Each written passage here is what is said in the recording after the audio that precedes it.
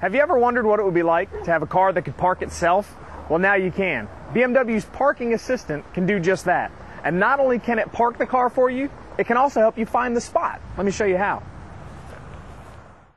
If I'm looking for a parking space, all I need to do is turn Parking Assistant on by pressing this button on the center console. Ultrasonic sensors integrated into the side indicators will search for suitable parking spaces. The system works when traveling at speeds of up to 22 miles per hour, and you need to be no more than 5 feet away from the line of parked vehicles as it searches. When the P or arrow turns blue in the control display, this indicates that a suitable space has been found.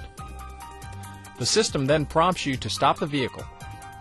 Now all you have to do is select the correct gear and control the accelerator and the brake, while the assistant takes care of the steering.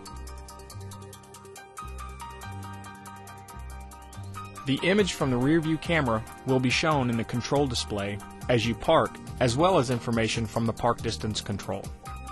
Keep in mind, the parking assistant does not relieve the driver of responsibility for the vehicle during the parking procedure. Watch the parking space and parking procedure closely and intervene if necessary. See your owner's manual for more information.